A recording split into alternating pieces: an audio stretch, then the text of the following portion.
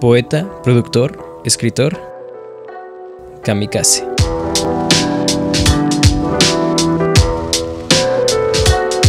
...2016... Estudiante de literatura, poemas en servilleta y una diadema de call center, Racé empezó a escribir poemas, algunos perdidos en un blog y otros con más suerte terminaron en Silverio, su primer libro. 70 hojas de canciones y una oración, el primer pincelazo de lo que vendría. Racé montó su poesía en beats de YouTube, mezcla que llegó a oídos de la ciudad, entre ellos los de Asauri López y Martín Rangel, lo que daría nacimiento a un colectivo de poetas urbanos que montaban sus letras sobre beats, retratando vivencias de la ciudad, sombras detrás de la máscara y algunos amores, todo concentrado en un mixtape, lo que sería el premio de su disco Prieto. En este mixtape podemos encontrar una compilación de poemas de tiempos pasados, algunas con estructura más literaria, otros acercándose más al rap, algunos beats con tintes indie donde destacan Jonah Hill, Buenos Días Ciudad de México y Mango. En Prieto se pueden encontrar indicios de lo que sería su estética y proyectos futuros, el inicio del neopop moreno y la semilla de Morenos y Bellos.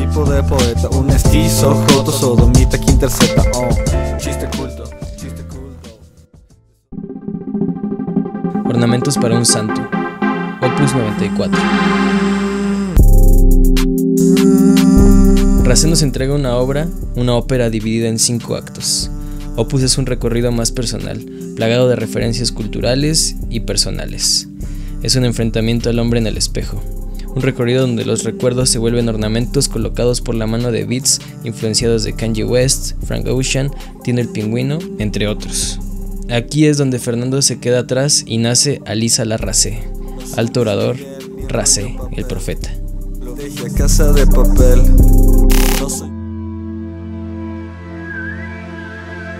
2019. Hortolano.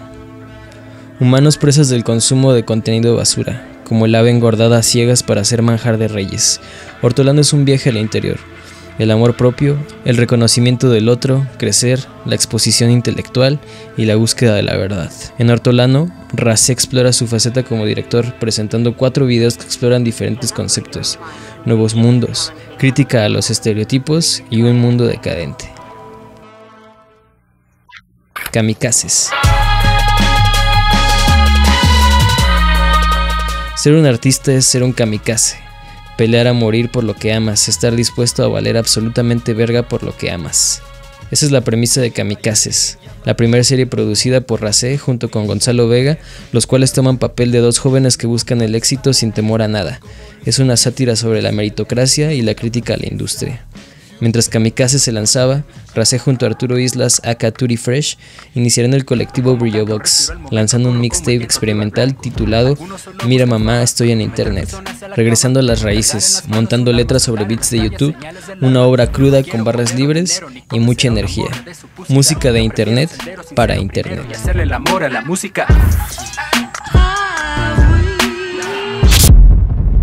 2021, Wabi Sabi Mon Amor.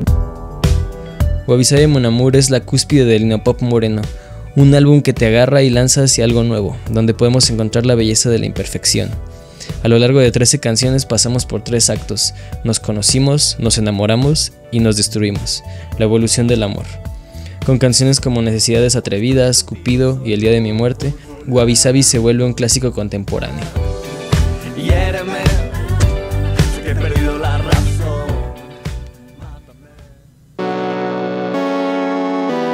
2023, Dios Plan 2040 y Brown Golden Boy. Un millón en mi cuenta de banco. Un departamento en Polanco. Dios Plan 2040 es el segundo EP de Brillo Box, esta vez acompañados en las pistas por Beats y Roberto Vera en el apartado visual. El viaje inicia con un millón y llevándonos en caída libre por seis tracks llenos de energía, perreo y picardía. En este EP, Brillo Box se consolida. El trío consigue un sonido único y una estética visual poco convencional.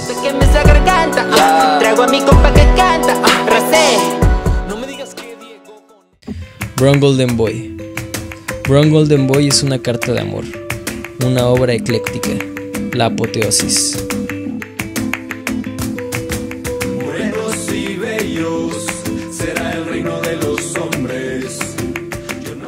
Porque somos más que nuestro color de piel, somos parte de algo más grande. Brown Golden Boy nace de la falta de representación morena. Es un himno a la piel color tierra. Es una comunión de cultura, sonidos y pensamientos. Brown Golden Boy se presenta junto con El Culto, cortometraje onírico de superhéroes color café, que toman como himno morenos y bellos, que trasciende como filosofía, un objetivo. Construir ciudades, compartir los códigos, un banquete.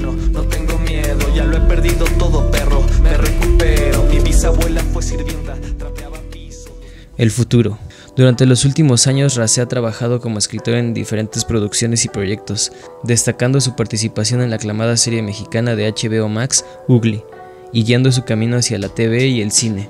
Todo esto como parte de algo más grande, algo que va más allá de Alisa Larrace. Construir ciudades.